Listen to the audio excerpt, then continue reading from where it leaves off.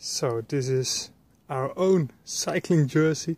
It's from BioRace and BioRace is a is a premium brand, and uh, you have the BioRaces BioRacer jerseys in a couple of uh, uh, yes different uh, qualities. This is the best one, so it's really great. It it looks totally awesome, of course, with our logo. It has the pipes without this like old-fashioned uh, zipped on it's just on your skin and it's that thin. See it? It's really thin on your skin and that's nowadays uh, just the trend and I, I love it because if you shave your legs a lot of cyclists do that then it looks really great in my opinion. And for a lot of cyclists that really matters. Of course the most important thing this is like uh, silicon.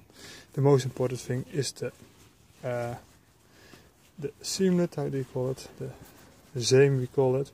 It's yeah, it's real high end. I also use Assos and Castelli jerseys, but this is I think yeah, it looks as good as an uh, as an Assos, and I uh, use it.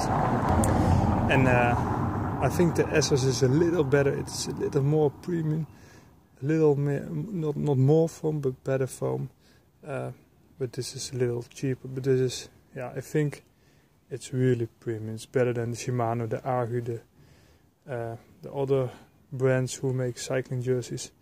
This is just great, but not as good as the Assos to be uh, to be honest with you. So too much uh, uh, wrap here, so I will take this off after I make this review. So you can put on your name. I won't do that. Just a size M the washing stuff, etc. So for the rest, it just this is cool.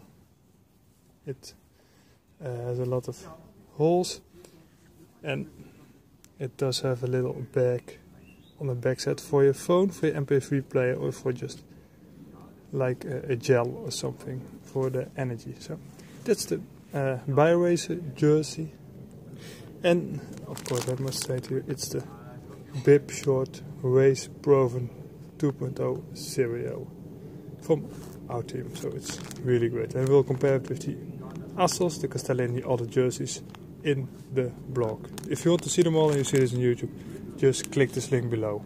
Thanks for watching. Hope you see your rate this with a little thumb. Bye.